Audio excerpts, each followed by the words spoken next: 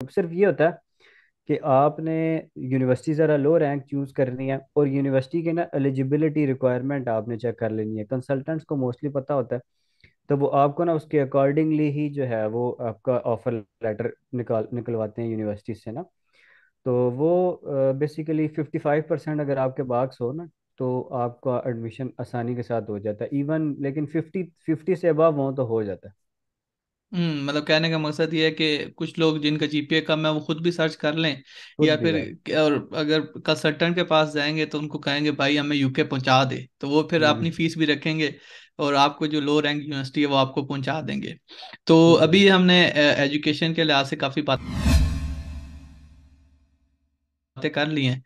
तो अब मेरा एक नेक्स्ट क्वेश्चन है जो कि अ, बड़ा इंपॉर्टेंट क्वेश्चन है। ये क्वेश्चन ये है कि जी हम जॉब सर्च वीज़ा पे यूके कैसे आ सकते हैं?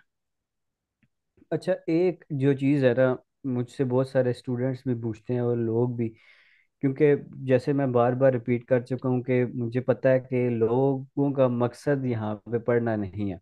लोगों का मकसद पैसे कमाना है, ठीक है? बाहर आने का मकसद ये होता है कि यार आप थोड़ी अपनी फैमिली को सपोर्ट कर सकें, अपना कोई घर शहर बना सकें, कोई कारोबार सेट कर सकें। तो सबसे अच्छी बात तो यही होती है यूके की कि यहाँ पे आप जॉब सर्च वीज़े के ऊपर आ सकते हैं। लेकिन मसला ये है कि बरतानिया आपको तब तक वीज़ा नहीं देता जब तक आपको जॉब ना मिली हो।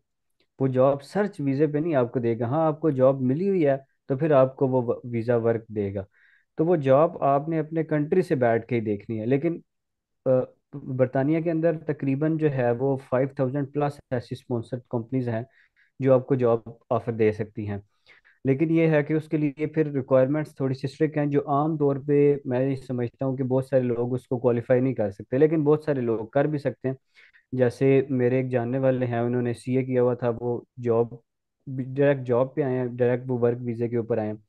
तो उसकी एक लिस्ट है, वो आप गूगल के ऊपर जाके लिखें कि स्पॉन्सर्ड कंपनीज़ इन यूके तो उसकी प्रॉपर लिस्ट यूके की गवर्नमेंट की वेबसाइट खुल जाएगी, उसके ऊपर एक प्रॉपर लिस्ट है।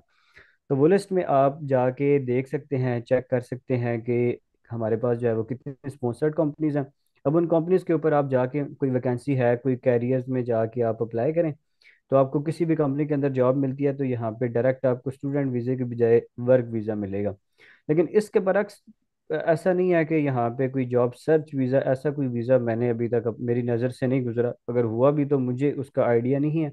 लेकिन यह कि डायरेक्ट आपको अगर जॉब मिले कोई स्पॉन्सर्ड कंपनी आपको जॉब दे तो फिर आप वर्क वीज़े के ऊपर जो है वो बरतानिया आ सकते हैं।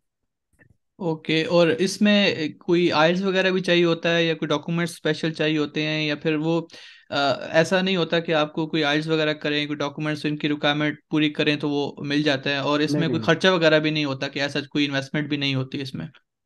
कोई इसमें कोई इन्वेस्टमेंट नहीं है बस इसमें थोड़ी सी जो रिक्वायरमेंट्स है ना वो थोड़ी स्ट्रिक्ट हैं। एक ये है कि आपकी जो जॉब है ना, वो रिलेटेड टू स्किल्ड वर्कर में आनी चाहिए। यानी ये नहीं है कि आपको कोई खेती बाड़ी वाली जो है वो कंपनी ने स्पॉन्सर कर दिया तो आप नहीं आ सकते। मतलब ये स्किल्ड जो वर्कर है ना, वो उसी कैटेगरी में आप आने चाहिए। जिसमें अगर मैं आपको हनेस्टली बताऊँ तो स्टेम से रिलेटेड जो लोग हैं स्टेम का मतलब ये है कि साइंस इंजीनियरिंग टेक्नोलॉजी और मैथमेटिक्स इनसे रिलेटेड जो बंदे हैं वो अगर किसी स्पॉन्सर्ड कंपनी के अंदर उनको जॉब मिलती है और वो जॉब जो है, वो एक सर्टन लिमिट से ज़्यादा उनकी एनुअल जो है, वो सैलरी है। शायद तकरीबन अभी मैं, अगर मैं सही एग्जैक्टली तो मुझे आइडिया नहीं है, लेकिन यह कि तकरीबन ट्वेंटी फाइव थाउज़ेंड पाउंड से अगर उनकी इनकम एनुअली जो है, वो ज़्यादा है तो फिर वो इसके ऊपर अप्लाई कर सकते हैं। लेकिन ये है कि उसके लिए कोई आइल्स की रिक्वायरमेंट नहीं है, बस आपको एक चीज़ चाहिए, वो है यूनिवर्सिटी की सॉरी वो है आपको अ, जो भी आपकी कंपनी है उसकी तरफ़ से स्पॉन्सरशिप का लेटर बस। ओके मतलब वो अगर आपको स्पॉन्सर करती है तो इवन वो टिकट भी टिकट आपको खुद कराना पड़ेगा या फुल टाइम वो स्पॉन्सर करेगी और दूसरा अ, इसी के साथ ये क्व- क्व- तो टाइम कितना लगता है? फ़र्स्ट करो वो स्पॉन्सर कर देते हैं तो इसका जिस तरह अब एजुकेशन का आपने बताया कि टाइम लगता है तो क्या जब स्पॉन्सरशिप वो आगे से भेज देता है सारा प्रोसेस करता है तो क्या उसका टाइम लगता है या वो जल्दी हो जाता है एज कंपेयर टू अच्छा द इस एजुकेशनल सेक्टर इसकी इसकी अच्छी बात यह है कि इसके लिए आपको कोई बैंक स्टेटमेंट नहीं चाहिए, कोई वेट नहीं आपको करना कि जी यूनिवर्सिटी मुझे ऑफ़र लेटर भेजेगी, फिर उसके बाद कैश भेजेगी, मैंने कोई बैंक स्टेटमेंट पूरी करनी, इसमें आपको कुछ भी ऐसी चीज़ें नहीं चाहिए। डायरेक्ट आपने वीज़ा ही फ़ाइल करना है। तो अगर कंपनी आपको स्पॉन्सरशिप दे देती है, आपको स्पॉन्सरशिप लेटर भेज देती है तो मैक्सिमम आप उसी दिन वीज़ा फ़ाइल करें तो तकरीबन हफ़्ते के अंदर आपको अपॉइंटमेंट मिल जाती है बायोमेट्रिक की। तो वो हफ़्ते के अंदर आप अपॉइंटमेंट लेके जाके तो आप जो है वो अपने फिंगरप्रिंट्स लगाएँ तो मैक्सिमम टू वीक्स के अंदर आपका वीज़ा जो है वो आ जाता है।